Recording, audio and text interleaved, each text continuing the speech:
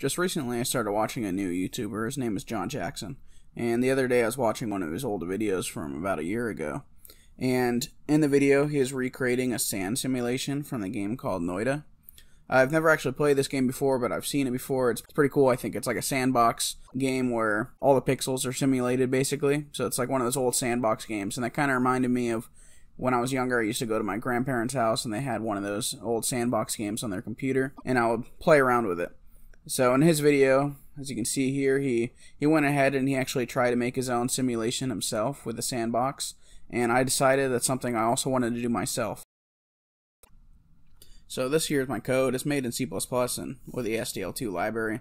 It's really simple. Um, just to showcase some of the things. I have all the blocks, basically all the different items that you can put on the screen in the sandbox.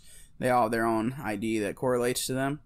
And I have a material structure which keeps track of the ID, keeps track of the color. There's not using any images or anything. Just every single one has a different color set to it. And then this right here, tick, it's used to keep track of any sort of countdown that I want to keep track of or anything else like that for certain types of items, such as uh, how long it takes for the sand to dissolve in water or things like that, or how long it takes for the fire to disappear and turn into smoke. And then it's really simple basically, but as John explained in his video, which I'll link in the description as well. You guys should check it out. But basically, how it works, it's, it's really simple, but you just have every block fall, and then as it's falling, all you have to do is check if it touches a block, and once it checks if it touches, you can see if there's a block that's empty to the left or the right. And if there's a block empty to the left or the right, you can just have it move to that left or right position. And then as you can see, I can make it so I can drop more and it kind of builds up these pyramid structures as such. And then for setting up water, it's pretty similar, except for the water you want it to be able to flow. So the water itself isn't going to build up into one of these pyramids. So if there's nothing down below it to the left or the right, you also want to give an option to be able to keep it letting it go to spread out. So as you can see, that's what it does here. Not the greatest, as you can see, it kind of spreads out right here, and then it kind of leaves leaves little clumps. And then say if I wanted to drop the sand back into it, the sand will just push straight through the water and lift the water up. And then I have this stone right here. And the stone is just a solid object. And then there, you can just fill it up with anything.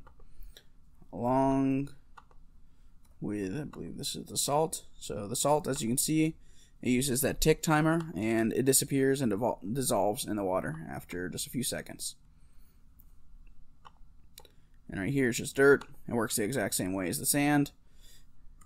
And and here's a wood. So the wood is just like the stone. It's a solid object. Except for the wood can catch fire. So we have this fire particle right here. And as you can see, the fire particle just spreads. Uh, it either goes left or right. It's random. And then it lifts up. And then as it lifts up, it uses the tick and it dissolves into or doesn't dissolve, but it turns into the smoke. And then the smoke can kind of pile up the ceiling, and then uses it to disappear. Um, so we can set this below in the fire, and you can see it burns through all the wood. Alrighty. And then this right here is a sponge.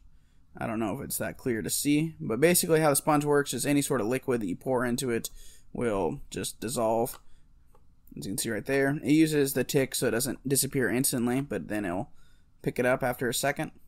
And it's basically it works just like that. And then right here, I have this infinite block. And basically infinite block just makes it so anything that touches it will just create an infinite amount of it. It's right there. You can just make it so it just pours out water as such. And it's basically it. It's really simple. But uh, I just thought it was a cool project. I just wanted to show you to you guys and that's basically everything. I, there might be, let's see, there's this lava right here. Lava, for the most part, just works just like the water, except for it dissolves the water as well, or, you know, it heats it up, and it burns through some of the objects. Um, yeah, so that's basically all of that. Let me pause this.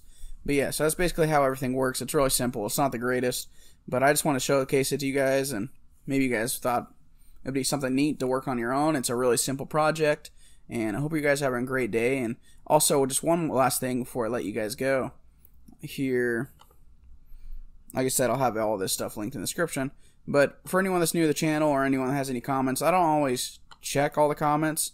So if you guys have specific questions to me, or I don't check them always immediately, so you guys can join the Discord. It'll be in the description, and you guys can ask any for any help or anything in here for anything you guys need help. Also, we're about to reach 2K subscribers. Thank you guys again so much for subscribing. Whoever's new, whoever's been here for a while, this is really exciting. It's pretty neat. And as well, one of these last videos right here, I have an interview where I talked with Heartbeast, uh, Ben. It's a different YouTuber.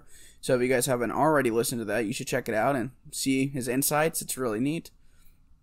And this right here is my Patreon if you guys want to support the channel. It really helps out a lot. But thanks again for everyone for watching and see you guys again next time. Bye.